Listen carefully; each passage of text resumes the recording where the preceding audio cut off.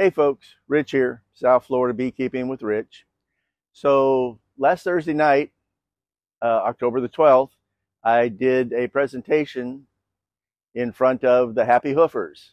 That's the local chapter of the Florida Trail Association, a volunteer group that helps to maintain, along with a lot of other organizations across the state, they help to maintain the 1,500 plus miles of nature trails that we have available for hiking across the state of Florida. They cut back vegetation, they mow other areas, they do maintenance on walkways. Uh, they spend a lot of time volunteering out there in the woods, sweating in the summers, and uh, doing maintenance so that everybody else can enjoy the trails. And they asked me to come do a presentation on bees. I went and gave them one last Thursday night, and they gave us permission to go ahead and post it here. So enjoy this on our on our channel. Go. So we're going to start out here with a little story. Okay, a few years ago, my wife and I uh, scheduled an entire week at John Pennekamp State Park. We wanted to do the whole nine yards. We, uh, you know, went out on a glass bottom boat ride. We uh, snorkeled off the reef in a charter boat. We kayaked among the uh, mangroves. We walked all the trails in there. And other days we were exploring every brown sign we found anywhere within 50 miles of the area, basically. And one of the places that we really enjoyed was literally just one mile up the road from uh, Pennekamp. Whole, the whole name of it. Hang on here a second. It's the uh, Dagny Johnson Key Largo Hammock Botanical State Park. Is the whole, wow, that's a mouthful, isn't it? It's, it's uh, Dagny Johnson is what people up there call it. It was going to be a development, but they ran out of money and the county was able to grab it and then the state got it from them.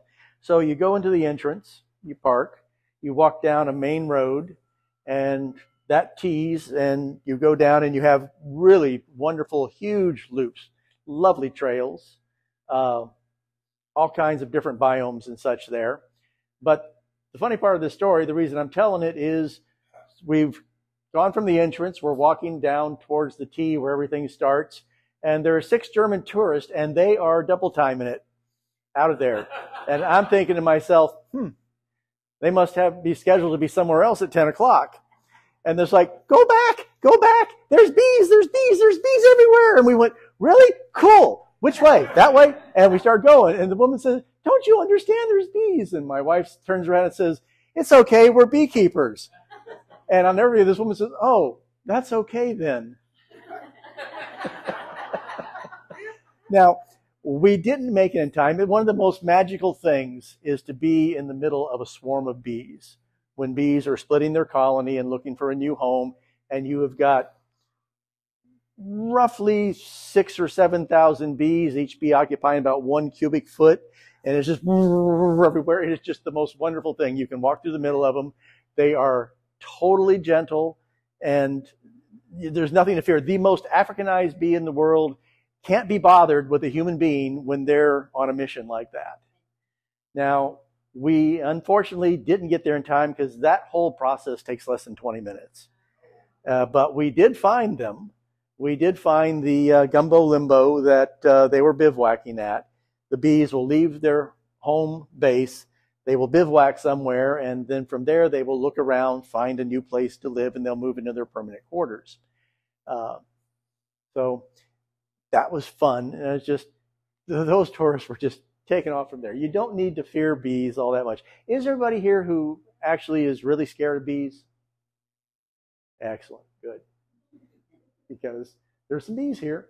So we'll just uh, let them go from that. Yeah, okay. At least as long as they're in there.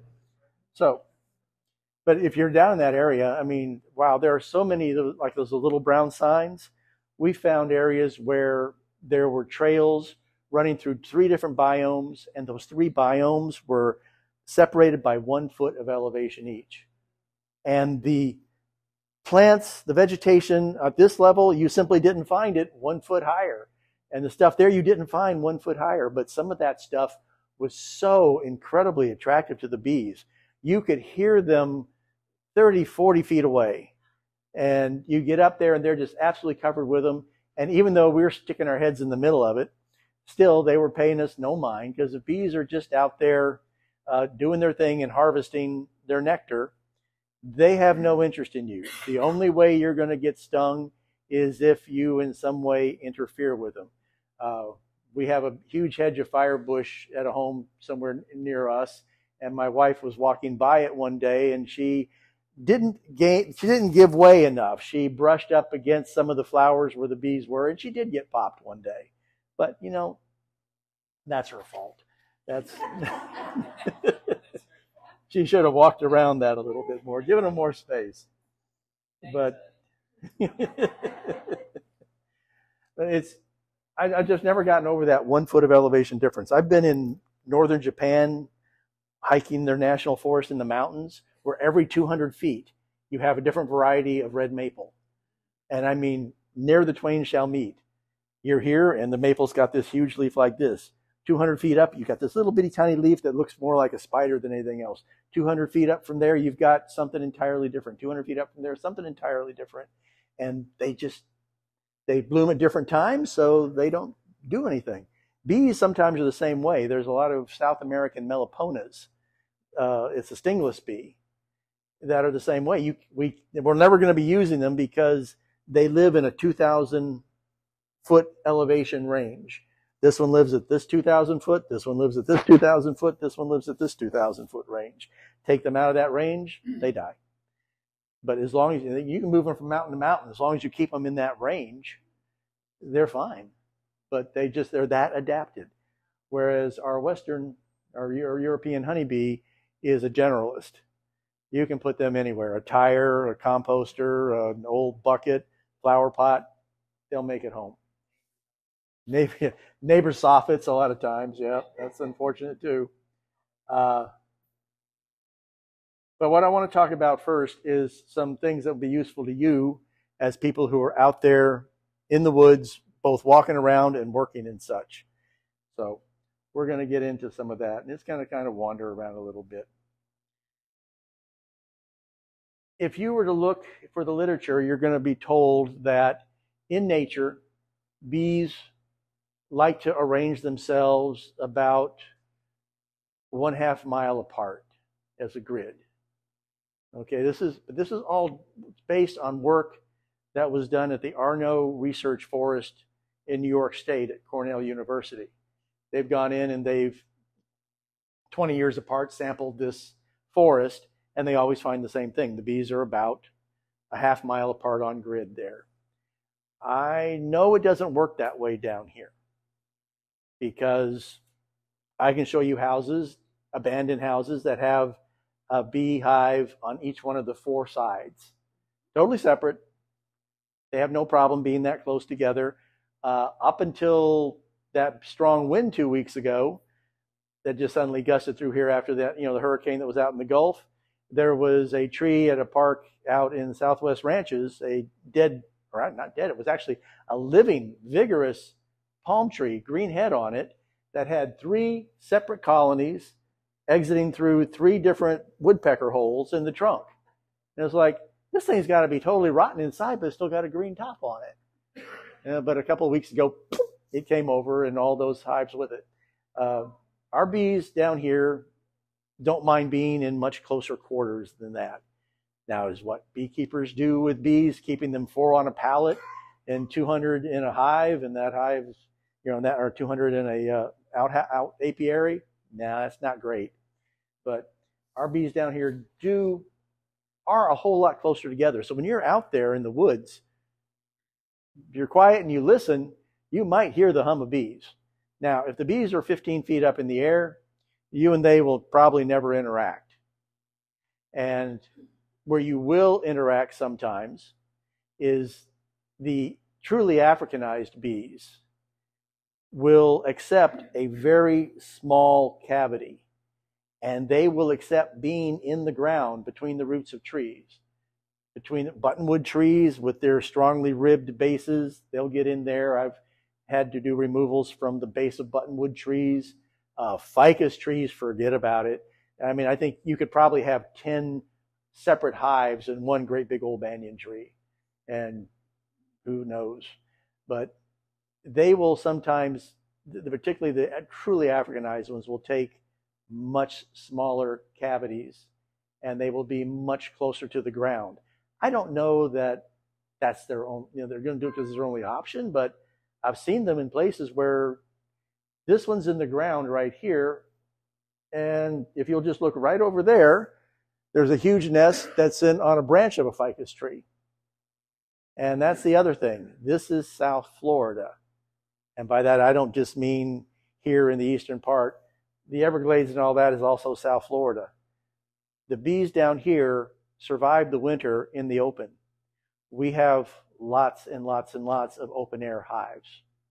Now, those hives oftentimes are not terribly long lived, but by long lived, a kind of a three year cycle. And they oftentimes don't make that. I'm going to give you an example here. About three weeks ago, I was asked to come do a removal of a beehive in a tree out at the Sawgrass Mall. And this particular hive was towards the end of a branch that had, had been trimmed back several times, so it was kind of uh, witch's broom type material on it. And they had done a really great job of weaving their uh, comb in and out through there, and they were nice and solid. But uh, the uh, manager out there said, Yeah, somebody said they got chased by a bee last week. And I said, Hmm, yeah, but probably not those. And he says, What do you mean? I said, Well, because this one's intact. Look at this one. He's looking over here, but literally from that beam right there to right there, there is another beehive in the tree directly across. Only this one had made its hive from a really substantial, solid branch. It wasn't out towards the end where it could sway some with the wind. It was on a really solid branch, and that same gust of wind I was mentioning a moment ago had apparently hit that broadside in the middle of the day when it was sunny and hot out and snapped all the comb off and it all fell to the ground. And the bees, the queen, she got back up there and they were busy rebuilding up here. But there was this pile of comb on the ground. So obviously the mowers hadn't been through yet. This happened after the last time they'd mowed the area, which they do very regularly. But here it is all pancaked on the ground. Not, and you know what? I took it home because I'm going to salvage the wax out of it, of course. And yeah, there's dead brood in it, but there was no real amount of dead bees in there. Most of them were able to crawl out. And I mean, it was pancake. This whole thing was together. It all snapped as a unit, came down, and they were just up there busily rebuilding. Nice and solid as anything.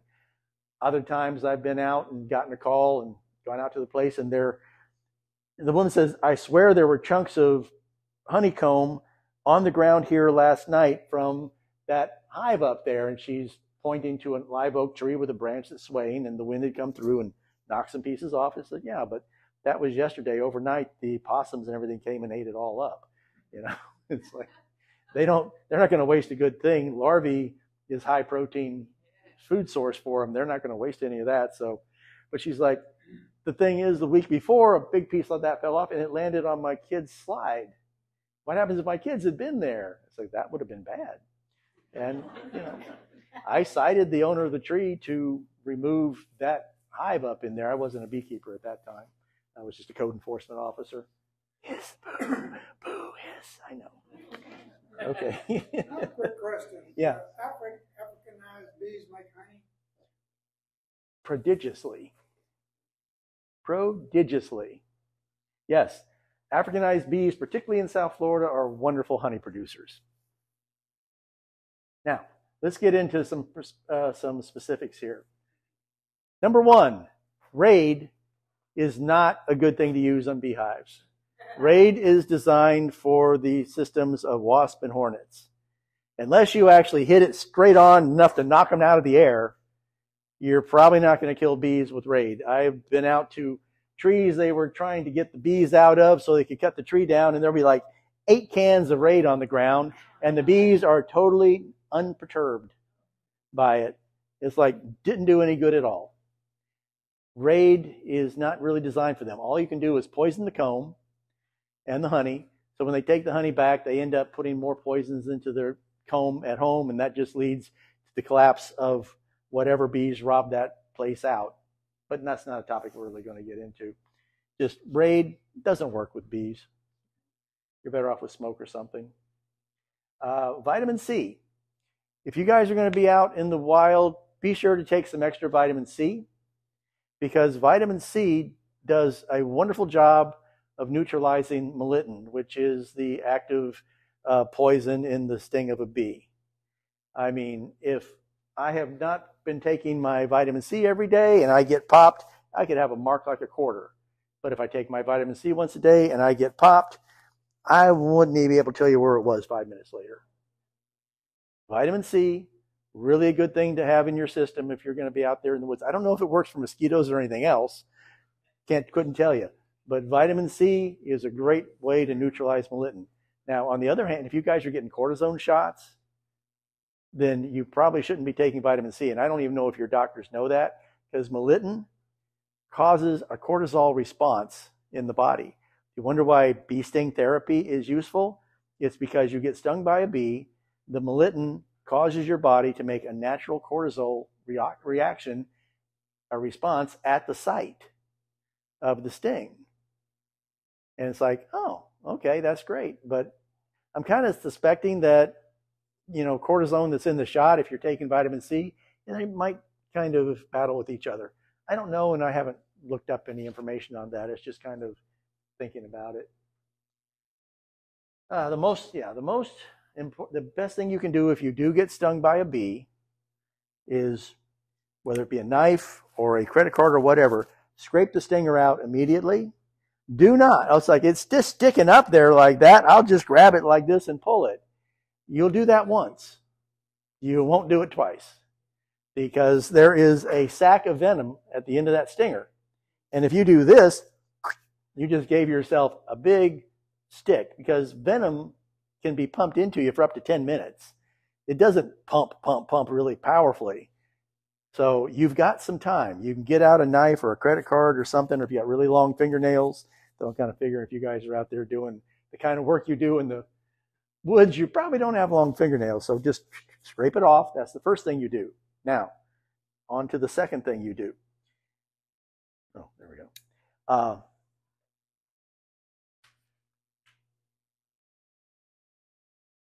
let me organize my thoughts here just a second. I want to talk. I want to talk to you about uh, isobutyl acetate, but I want to make sure I get my thoughts in line here. Yeah. Okay. So, when a bee stings you, there are at least five different pheromones that are used to tag you at that moment. Okay. The most important of them, from our standpoint, is isobutyl acetate bananas. Let's, uh, let's start by dispelling a myth. You will hear it all over the place that beekeepers can't eat bananas. Wrong. You can, you can peel a banana and stick it in your veil. Bees couldn't care less. It's not close enough. But if you have ever been stung by a bee on the lip, and trust me, I have, your whole world smells like banana. isobutyl acetate was first isolated in the 1850s, and it was the hit of the Crystal Palace exhibition. It was a wonderful, fragrant, light, fruity smell, and we have been using it in cosmetics and soaps and perfumes and whatever ever since. It gives a light floral note to the development of perfumes and all that, and that is why bees are attracted sometimes to some perfumes and colognes and such is because somewhere in their makeup to, to round out and give the right note, isobutyl acetate was used. Isobutyl acetate, it turns out, is not the sting here tag. We thought it was up until very recently. Um, gas chromatography came into existence around 1958 we'd known for a long time that there was something in bee stingers that caused other bees to come to the site of the sting and attack. All right? And so they made a slurry of bee stingers. They put it in a in 1962. Some Canadian uh, researchers put it into a gas chromatograph, and they got this big spike, and that big spike was I keep forgetting the name of it. Isotope. Sorry. Isobutyl acetate. And so it's like, oh, that's sting pheromone. Okay, until very recently, as we keep getting more sophisticated, only recently we find out that actually that is an alert pheromone. It calls bees over and tells them to await further orders, basically. It attracts bees to the site. There is a separate, much less strong chemical that will is actually the tag for sting here. But since it all gets stuck in there at the same time, that's really not no importance to you. What you need to know is that if you get stung by one bee, uh, you're liable to get stung by a whole lot more bees. What do you do? Step one, keep walking. Step two, get that stinger scraped out while you're going along. Step three, well, if you were a beekeeper and you had your smoker lit, all you do is you smoke the spot so that you build up, you know, a smoky scent there and you just go on about your business. You don't think about it anymore because it's okay. You guys aren't going to have lit smokers. So the first thing you should do is get an alcohol wipe and wipe it so that you thin out all that. If you happen to have some bug spray in your pocket, spray it with some bug spray uh, to just break down that scent. Okay? But the most important thing to do is keep moving. If you get stung here, you don't stand there and going, hey, what was the idea behind that? No, by then you should be 15 feet on down the trail. You don't have to run, but you should keep moving. Okay? Now, another thing about bees regular European honeybees versus the Africanized bees. Regular European honeybees, rarely, if I am this close to a European beehive and I'm looking at the entrance right there, they're going to pay no attention to me whatsoever. If I am back there past the end of those street, those seats, and I'm looking at an Africanized hive, one of those bees is liable to go, what do you think you're looking at? And just shoot right over there, 30 feet away, and pop me. So the fact that you can't hear bees buzzing doesn't necessarily mean that you're okay. Africanized honeybees are much more defensive that way. And they will chase you much further. If I were to go up to a European honeybee hive and give it a good swift kick, and they came out and started chasing me, they'll usually chase you like 30, 40 feet and then quit. Africanized honeybees can easily chase you a quarter of a mile or more. And they sting you a whole lot more. They give a much higher percentage of their worker force over to guard bee and soldier type uh, conditions than regular honeybees do. So, yeah, a whole lot more of them come pouring out. So, you need to be moving along down the road. Now, on the bright side, the killer bees, the killer Africanized bees, and all that really aren't, not anymore in particular. Here in South Florida, all of the bees in my backyard are Africanized. And I work them in shorts, flip flops, and a t shirt and a veil. All right. And I don't get stung very often. And everybody I know works their scuts the same way. Scut means scutellata. Uh, Apis mellifera mellifera is your European honeybee. Apis mellifera scutellata is the Africanized honeybee. At this point, we no longer say Africanized honeybee, we say Afri- African derived honeybee. They're African. There's you know no two ways about it. But they are getting gentler and gentler and gentler. At least here in this environment, because if I have a hive that's too hot, I break it down, find the queen, pinch her, and say, try again, and let them build themselves a new queen. If I don't like her any better, we'll do it again. But uh, we'll come up with bees that are gentle.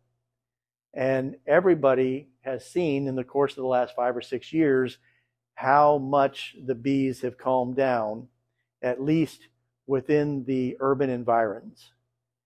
I can't really predict what some of the bees that are out there in the Everglades might do. And if somebody says, Well, I don't think I've ever seen any bees out in the Everglades, well, the bee is called the white man's fly. Of course, you know, do understand uh, uh, European honeybees are an invasive species, right? You know, they don't, they, we brought them here. And the Indians know that if they start seeing bees in the forest, that it's time to move because the neighborhood has gone to crap. Because where you find bees, a few year, a few miles back, you're going to find settlers. The bees are always out front of the settlers because you know they move a couple of miles at a time and stay stepping up ahead and stepping up ahead.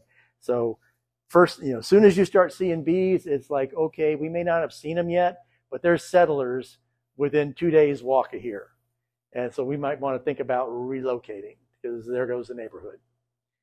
Uh, the same, I'm sure, is true true out there because again, the bees will perfectly are perfectly content to just have a hive on a branch. They're not necessarily they're always going to first choice is always going to be a nice cavity in a tree. But if there aren't enough cavities, they'll do it on a branch. And banyan trees, ficus trees of all species, like I said, I've seen four and five hives in a single tree. They have nothing to do with each other. They're just all there because there's more than enough space for them all there. And things are so abundant down here that for the most part, it works. Now, abundant uh, is a word I want to talk about a little bit too. Right now, we are in what's called dearth. Okay? A swarm that comes out of a hive right now, and they can. If you were some other part of the country and you were to talk about a swarm in October, they'd look at you like you had three heads. Swarm season is April, May, or May, June.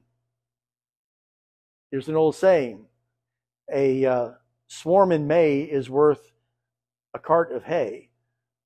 A swarm in June is worth a silver spoon. A swarm in July ain't worth a fly because a swarm in July has no chance of surviving because by then, midsummer, the nectar flows are over. Everything is setting seed. Everything is growing its seed for harvest in the fall. Yes, there's plenty of pretty flowers down here. And those pretty flowers, some of them even produce some protein for the bees in the form of pollen, but they don't produce much nectar. Things are a little on the thin side down here, and that's why bees kind of get a little defensive. But that's also why a lot of late swarms don't make it. They die off, they die from hunger. And it can be quite amazing. I'm a quick story. Uh, the uh, Broward Beekeepers Association has taken over three micro apiaries in three of the county parks. And you know, we're putting members' hives in those uh, apiaries so people can come and look through the windows and see bees doing their thing, and we come out and give programs and such. And one of our members put his hives in the one at the north end of the county, and he put a uh, some drawn comb super on top, and in less than three weeks, the bees had completely drawn out that whole uh, 10 frame deep. That's 90 pounds of honey. Had drawn out that complete 10 frame deep. So see, that's what three and a half gallons of honey, if you want to put it that way. And he thought, well, okay. He took that honey, took it home, harvested it, took the what we call wet combs, put them back in the box, put them back on the hive so they could clean them up and refill them. And then he went off on a three week vacation. He came back and all of his bees were dead. They'd all starved to death. When he put the hives in there, all of the uh, yellow poinciana trees in that park were in bloom. And they had just scarfed it down and, and great.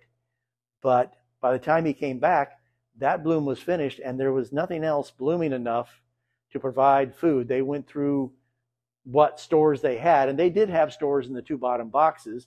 They went completely through those stores. They went through all of the nectar that had been left in the top one.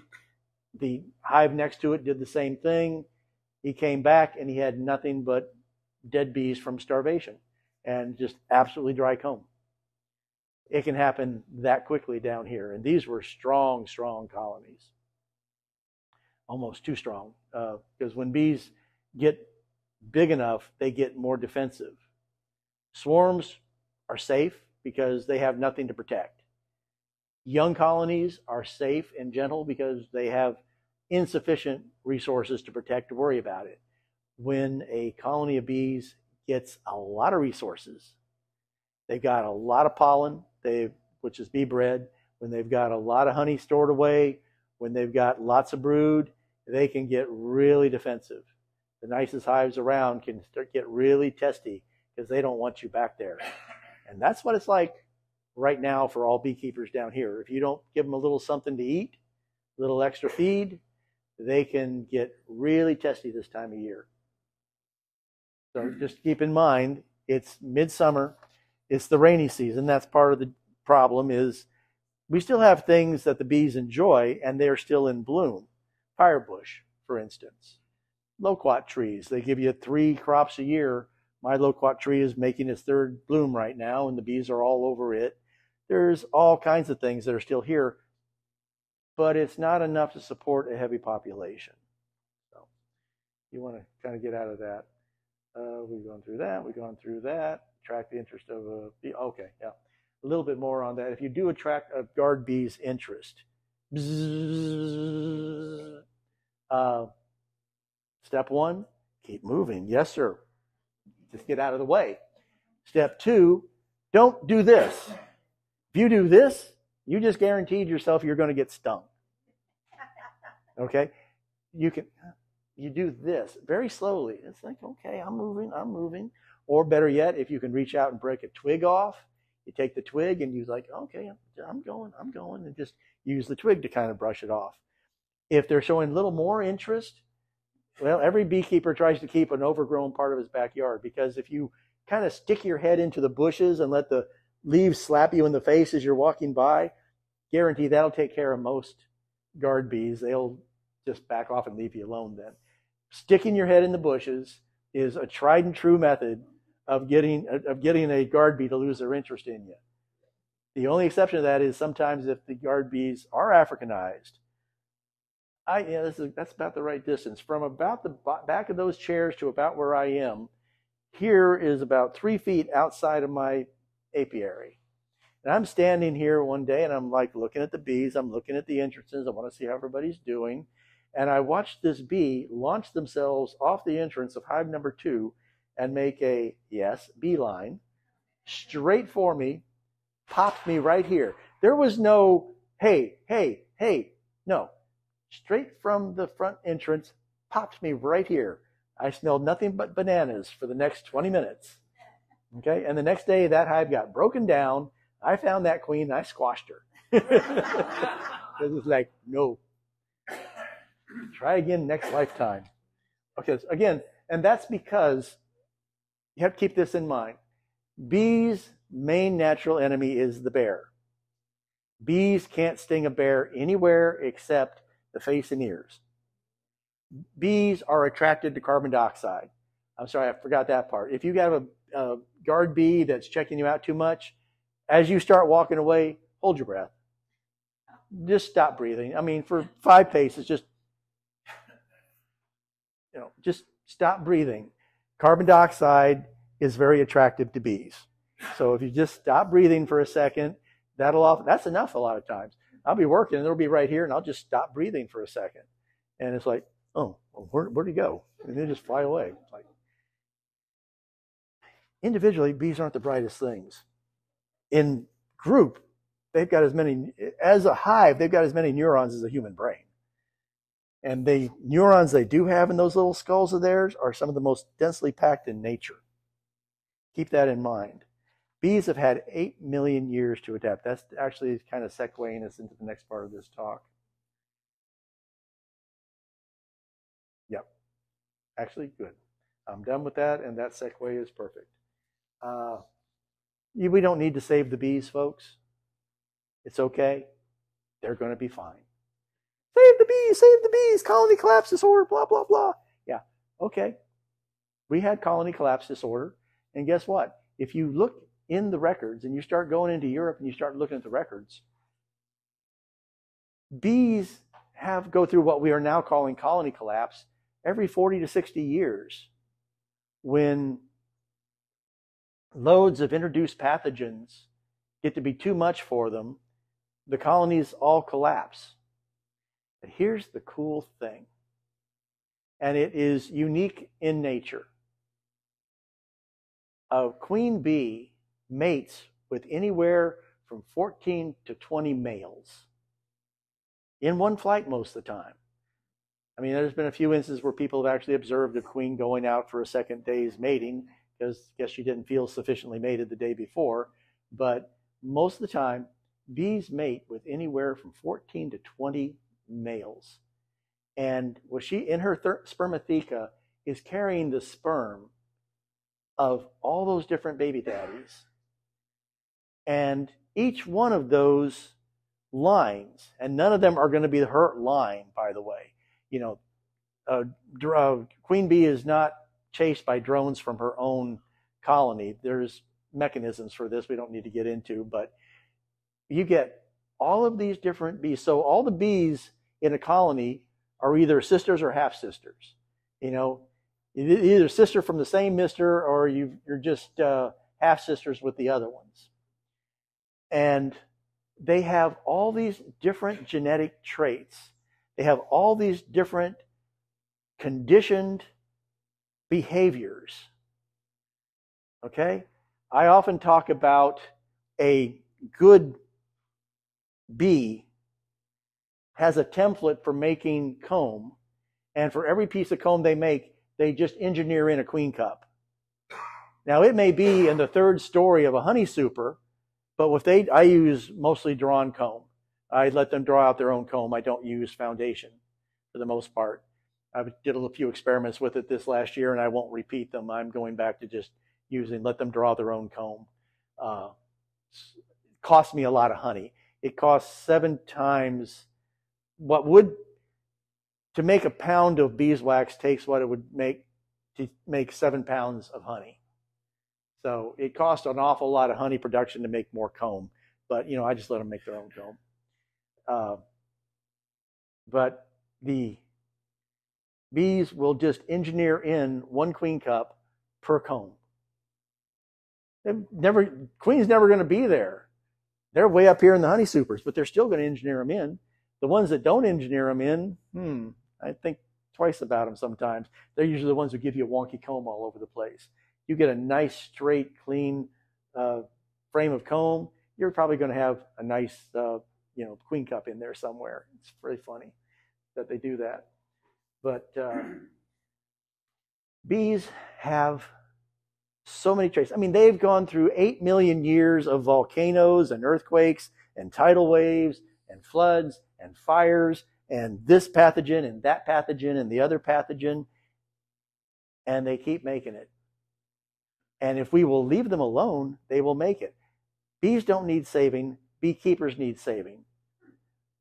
Before around 1930, a big bee producer would be someone who had 200 hives in about five or six different out parcels, about 40 uh, hives per location with about three to four miles between locations. Once we had the automobile, and more specifically the truck, that all changed. All of a sudden now, 200 hives, you're just at the high end of being a hobbyist and just kind of leaning towards being a sideliner. You know, you're not really a professional. Professionals have a thousand hives, two thousand hives, ten thousand hives, right?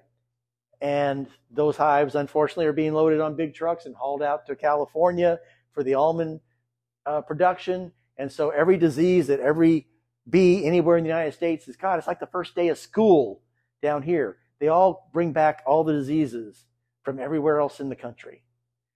And some of those diseases will take you down, and some of them won't.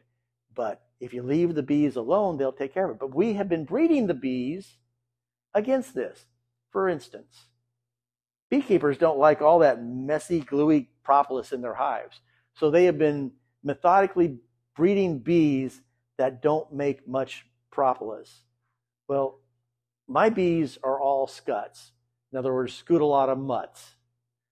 Scuts uh, they make massive amounts of propolis. You can't do anything in the hives without a lot of scraping around first to get things moving. But you know what? What's been found out is that that propolis envelope that bees make is their first line of defense against all diseases and pathogens. And it is, there literally is the first part of their immune system. So when you breed the bees to not make propolis, you're breeding out their first line of defense. Okay? And well, nobody likes swarmy bees, right? Nobody likes to have half of your workforce take off and go somewhere else, you know, so that you're not going to make any honey production from this colony this year. Nobody likes swarmy bees. You select for bees that don't have swarming tendencies. Well, bees' last line of defense, their last ditch effort to survive is to leave. It's to swarm. We just can't make it here. It, when at, at this point they are abandoning their brood. They're like, if the colony is going to survive, and this is a superorganism, remember, if this colony is going to survive, this is the most drastic measure we can take, but we're going to take it. We're out of here. Two things that beekeepers have been breeding against for a hundred years. They want less propolis. They want bees that don't swarm. Is it any wonder Bees will fix everything if you just give them a chance. But hmm. these people who are on the chemical treadmill, I want to give you an example here. The tracheal mite. Prior to the introduction of the varroa mite, does everybody here heard of the varroa mite? Okay, how about an insect, a mite, whose name is Varroa destructor? Can you get any clearer than that? The varroa mite is a really vicious little booger. They bred in Southeast Asia alongside Apis cerana. Okay, Apis mellifera is the western honeybee, Apis cerana is the eastern honeybee. The varroa mite has lived in harmony, if you want to call it that, with Apis cerana for thousands of years. Uh, they're adapted to each other, we'll put it that way. But the Apis cerana does not make a third the honey that Apis mellifera does. So, hey, we're going to bring Western European honeybees to Asia where they've got all this great flowers and they're under being they're being underutilized by this wimpy bee. Okay, great. And of course, the apis, rather the uh, varroa destructor moved in, got on them. But that's not enough.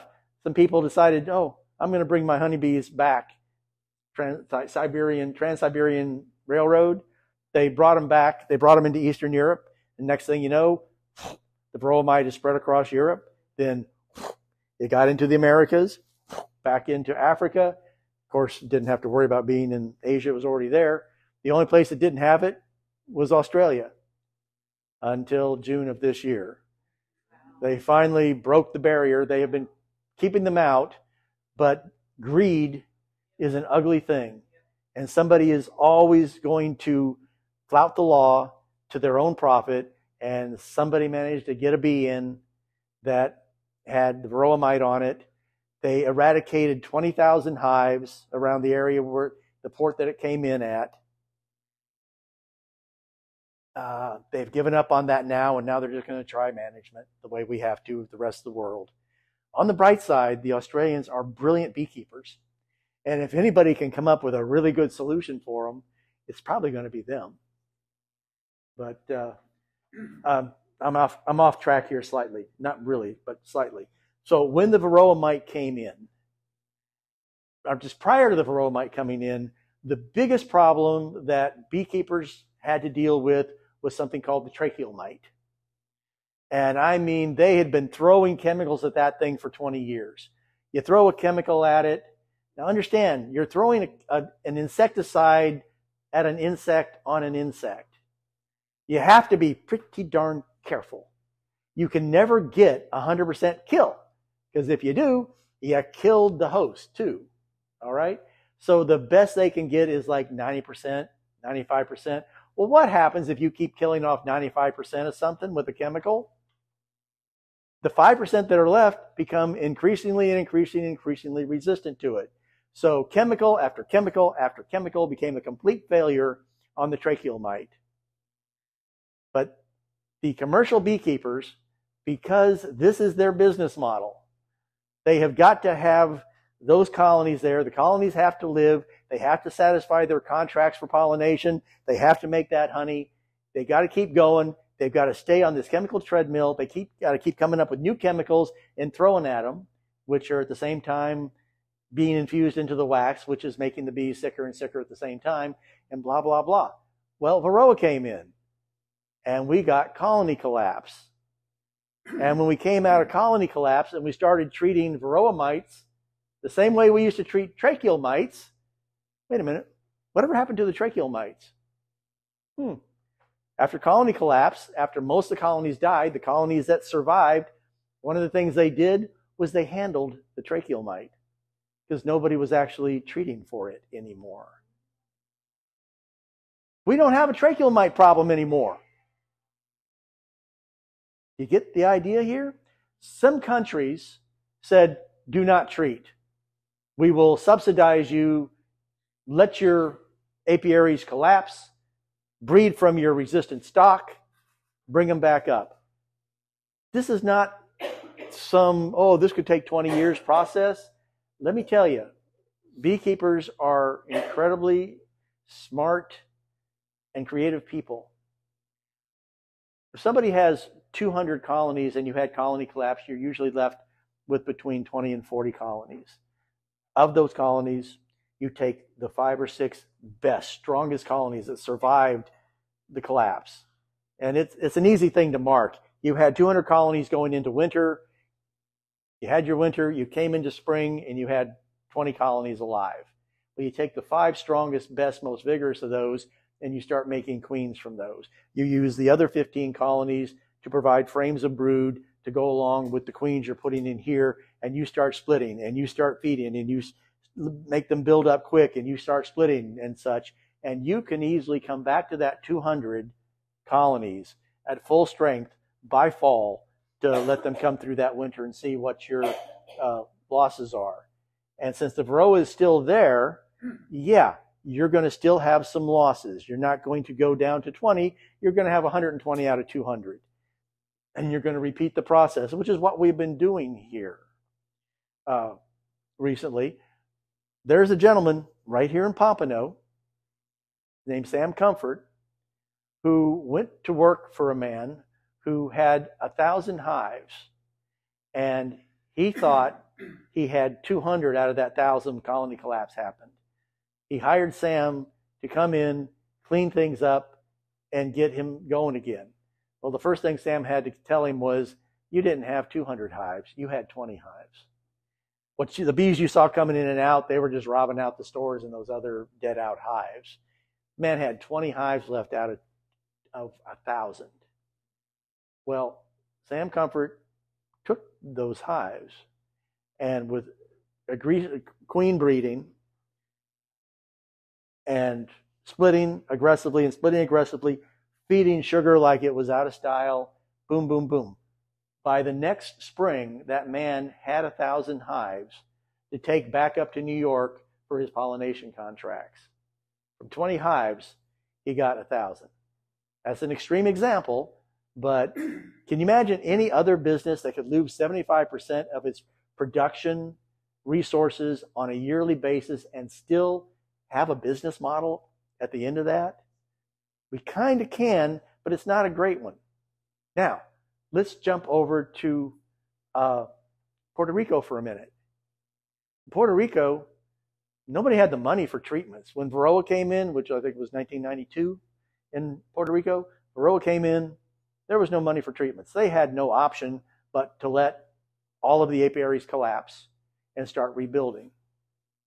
And by the way, they have the Africanized bees too, of course. I'll have, pardon me here while I check my dates. We're past Sam Comfort. Yeah. Yep. So far, what I said was right. But then in 2016, Hurricane Maria came in and took out 80% of the bees. They had built back up. They were in harmony with Varroa, I guess you would say. And then 80% of the hives were destroyed again. And they rebuilt.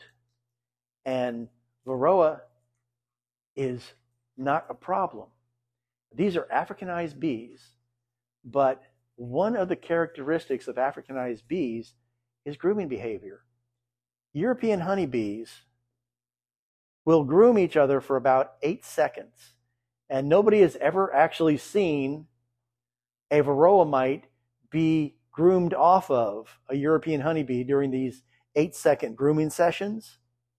Whereas the Africanized bees in Puerto Rico, they will groom for a full minute. Eight seconds versus a minute. They will groom for a full minute and they remove at least 30% of the varroa mites on the bees. And they don't just remove them and drop them, they actually chew them up. They kill them. At the very least, they chew all the legs off of them. And a lot of times they see them actually crushing them in two, which a lot of people tell you the bees can't crush a varroa mite with its mandibles, but apparently they can. Because they are grooming them out. They're not needing to use any treatments. They are in balance the same way Apis cerana is in Eastern or in the, you know in the Far East in Asia, but they're just as productive as you said earlier. But uh, the African honeybee is more productive in a lot of cases, at least as productive as the European honeybee, which means that you can get two to three hundred pounds of honey from a hive in a good situation where there's good flows and such. So it doesn't get much better than that. And the nice thing is, the weird thing is, and they haven't figured it out yet why it happened. I have my suspicions, but there's no way to prove them. The Africanized honeybees in Puerto Rico gentled down completely. Completely. They work them like ordinary bees. They have this extreme behavior of cleaning and grooming each other, which takes care of the varroa they don't. They're now gentle again, because and that's mostly because for whatever reason, when they got knocked down to 20%, in that 20% were bees that just did not have that real aggressive gene in them, that particular allele. And so they're doing fine. And we're hoping sometime soon to be able to get some of those bees down here. Now, the state of Florida, like most states, is locked into Monsanto and Bayer and all these other big corporations, which are putting all this money into their campaigns and all this other stuff. And so we are locked into if you're a commercial beekeeper, you have to be treating with all this stuff, blah, blah, blah, blah, blah. As a licensed, that is, reg- I'm sorry, registered with the state, I'm supposed to be doing it too. I don't. I'm treatment free. That doesn't mean I don't do things to help my bees handle varroa loads. I will stop a queen from laying for a week at a time so that there are fewer broods because that's where varroas get. Anybody interested in varroa at all? They have the coolest system. You wonder why we can't get rid of them? Let me explain this to you. The uh, female is called the foundress, and she can be deposited on a flower by another bee. She can just hop off, be on the flower, wait for another bee to come along, hop on the bee, fly back to the hive, hop off the bee, and wander around. The bees pay no attention to them. Just like they don't pay attention to a lot of other insects. When she smells a uh, pupae that is about, I'm sorry, not pupae, a larvae that is about ready to be capped over to become becoming a pupae, they will slip in to the cell in the last couple of minutes before it gets capped. And then they will attach themselves to that larvae, which is going to be becoming a pupae, and they will start sucking, usually about six hours after the cell is capped. They do it too soon after, they'll take the cap off and they'll pull them out. They'll get in there, they'll tap into it. She'll start sucking. Then the first thing she will do is lay a male egg. And when that egg hatches and it starts sucking too, she will then lay a female egg. And if the conditions are right, she'll lay a second And if she is in a drone cell, which is what they prefer, sometimes she can even lay a third. That really doesn't happen with Africanized bees too much because the uh, life cycle, which is normally considered to be 21 days, we can complete that life cycle in 19 days down here.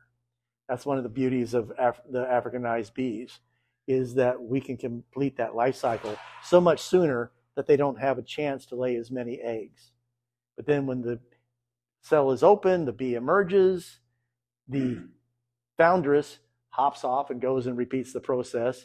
Her female offspring hop off and go repeat the process. The male dies. Who cares about him?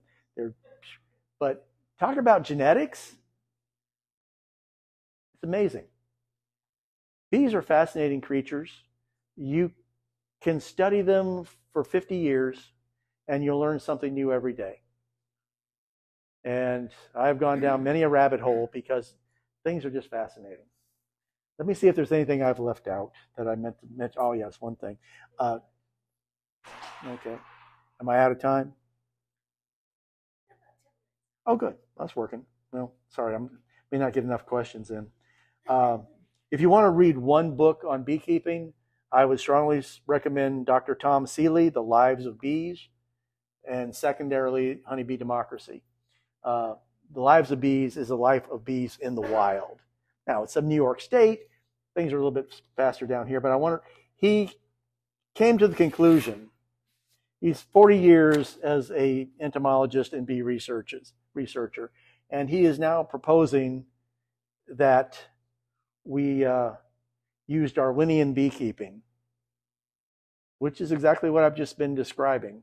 Let the bees do it. They're a lot smarter than we are, and they can handle their own stuff. But I want to read you this one quote from him, and we'll end with that. If you let an animal live naturally, it is able to use its full toolbox and skill sets to survive and reproduce. But when you take any kind of animal and you force it to live in a different way, those tools are not allowed to function very well. So that's honeybees. We've been breeding them for our benefit, not theirs. Who knows how many traits we may have lost in this process over the last two centuries or so, but mostly since around the 1930s. Uh, 1930s, we mostly were just dealing with the German black bee in most of America. Then they started bringing in the uh, uh, uh Italian honeybee and crossbreeding with them. But that never worked with the African bees. 200 years, fortunes have been lost trying to bring European honeybees into Africa and gentle the African bees. And it just doesn't work. And the African beekeepers will tell you it's because Italian honeybees work all day long. And the African bees don't work in the heat of the day. The queen stops laying in the heat of the day. So as long as you're trying to force them to work in the heat of the day, you're just going to keep getting failures. We're going to drop that right there and let you guys start asking questions. Yeah. Uh, you mentioned uh, all these pesticides and Mhm. Does that get into the honey that we buy? No, no, uh, because honey is hygroscopic, and these pesticides are all uh, fat soluble. These pesticides get absorbed into the wax because wax is nothing but a lipid; it's a fat. And so, if they're if they have chemicals on them and they touch the wax, they can absorb into the wax, but they don't really absorb into the honey. We shouldn't be getting honey with the comb. If you get honey with the comb in it, you're a little more likely to be getting a product that's closer to real. But I real is a word I don't tend to use with any store-bought honey. Next. Yes, sir. I've been interested in putting a hive in my house. Mhm. Is it worth just to have one? Two. You should always have two hives. And the reason for that is if you only have one hive, you have no idea whether your hive is doing well or not because you have nothing to compare it to. And if you have a, say, the hive has gone queenless for any of the many reasons that a hive could have gone queenless down here. The hive's gone queenless. You've still got plenty of capped brood. You've still got some open brood or maybe not have any open brood. That's one of the first signs your hive's gone queenless is there's no longer any eggs or open brood. It's all capped brood.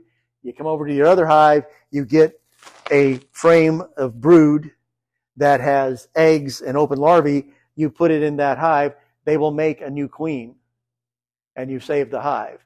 But if you didn't do that, then you've got a narrow window of opportunity to run around, find a, somebody who's selling queens, or you need to have friends who are beekeepers so that you can go over and beg a frame of brood from them that you can put in there so they can make themselves a new queen. Next. Yes, sir. You you described two kinds of mites. Are these external?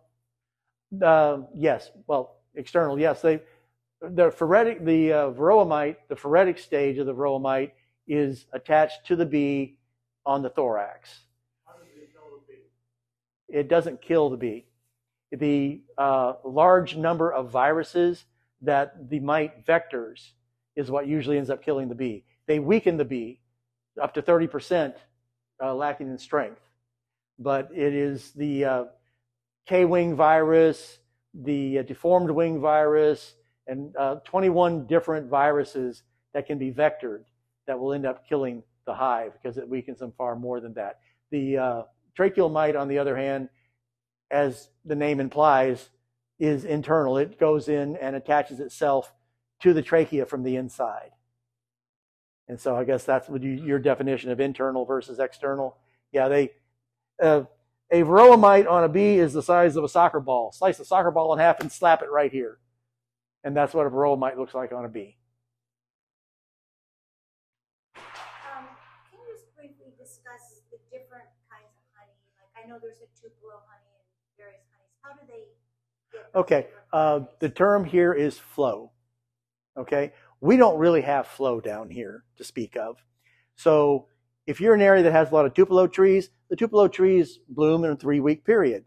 If you have a strong colony of honeybees and you put fresh empty comb on the top of that colony as the tupelo start blooming, that's where they're going to go is to that tupelo and they're going to bring it in and they're going to pack that in. And you can get tupelo honey that way. Same way with clover honey, big thing. Uh, sea grape honey, Is there a really big difference in the taste of the honeys? Because there can be a fantastic difference in the taste in the honeys. Sea grape honey, not something I would ever trust. In fact, I'd only tasted it once before. Um, close to 40 years ago, I used to set up at a flea market. I was a nurseryman. I used to sell some plants on the side on the weekend. The guy who set up next to me was a beekeeper who would sell his honey. And he was, his day job was as a janitor at a nuclear plant. and the man's name was Henry Ford, just as an aside there. Uh, but one year we, it was 1979, I guess it was, we had a freeze. It knocked all the bloom off of the Brazilian pepper. And so it was possible for, but it didn't knock the bloom off the sea grapes. So it was possible for him to make a super of sea grape honey, which he brought to me, a jug, gallon jug, with the greatest of excitement because he would give me honey, I would give him mead. He says, I want mead made from this honey. And let me tell you, it was good. Hadn't seen it again until Sanibel Island. Fascinating. On one side, on the uh, Gulf side of the island, the sea grape trees had bloomed, set their fruit. The green fruit had full grown full size and were starting to turn purple. They were starting to ripen. At the main drag down through the middle of Sanibel Island, the sea grapes there had just finished blooming, and you know the the grapes were little tiny things like this. On the Gulf side or the bay side of the main road, the flowers were just starting to wilt. And we drop our kayaks in and we're kayaking through the mangroves and all this other stuff. And all of a sudden we hear nothing but the roar of bees. And we go to investigate. And the sea grapes that are in among the islands and the mangroves on the bay side are still all in full bloom. So when we went to the uh, uh, Sanibel Captiva Conservation District headquarters, which is what they call their nursery there, uh, and they had sea grape honey for sale. That was the first time I've ever trusted it and bought sea grape honey. and it really was, and it was good. Um, a little different question. Um, Hope so. I know a beekeeper who told me a story about a woman whose daughter in Florida was diagnosed with Lyme disease. Yes, that would be Sherry. Oh, right. Okay. Okay, so, uh, You know the story. Oh yeah, I know Sherry. In fact, everybody but me is at her clubhouse right now. Well, what, what interests me is that I have had Lyme disease, so I Mhm. found it particularly interesting that 5,000 bee stings were cured And- Lyme. and it saved her life completely, and that has been repeated hundreds of times. Are there other applications of bee venom? Absolutely. Uh, like I said, it's a cortisone response, a cortisol response. I will, I keep a bare earth under my hives so I can see dying bees on the ground. Bees don't like to die in the hive; they like to leave the hive. If they can't fly anymore, they'll flop to the ground, but they'll crawl around the ground for a while. So I'll take a big pair of tweezers out. I'll grab a bee and I'll stick him on my knee and let him sting me right about here. And uh, I'll hang around for a couple of minutes. Remember what I said about response? A couple of more bees will come over and sting me there, and then I'll go, "Thanks, guys, that's enough," and I'll boogie out of there. But a few stings on the knee certainly uh, makes me a lot sprier. Uh, but yes, there's all kinds of things that can be done. Apitherapy is not exactly legal, it's not exactly illegal, but a lot of people don't want, a lot of doctors don't want to admit that they do it, for that matter. Any particular kind of bee? Is it Africanized or European? It's all the same.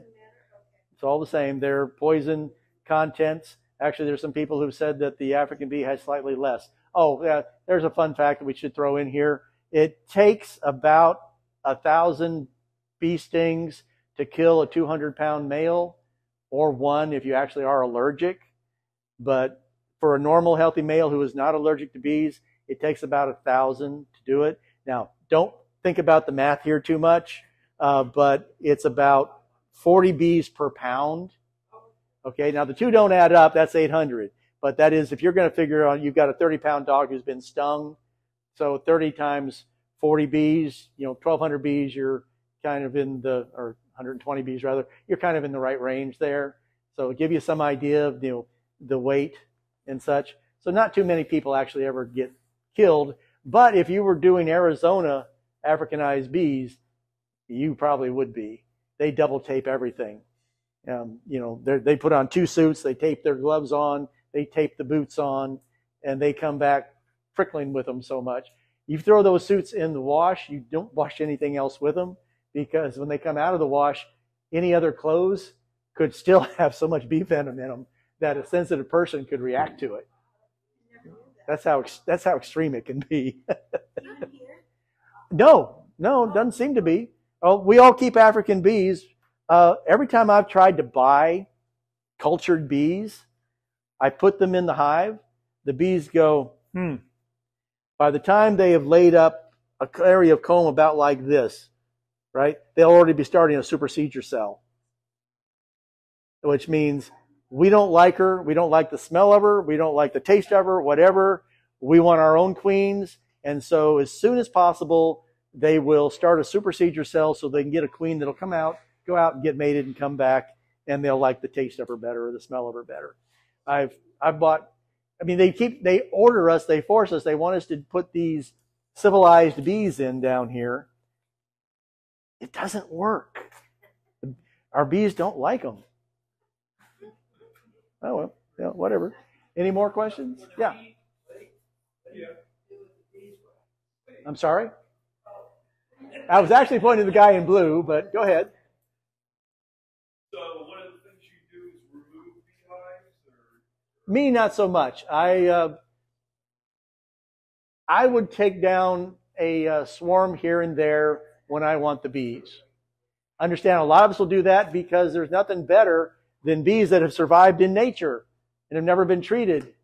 If we can get that hive and get it into our box, we're ahead of the game in terms of the genetics. We get a lot more diversity that way.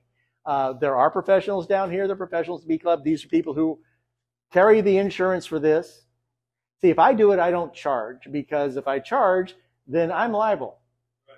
You as a homeowner are liable on your insurance if I screw up because I'm just taking the bees because I want them.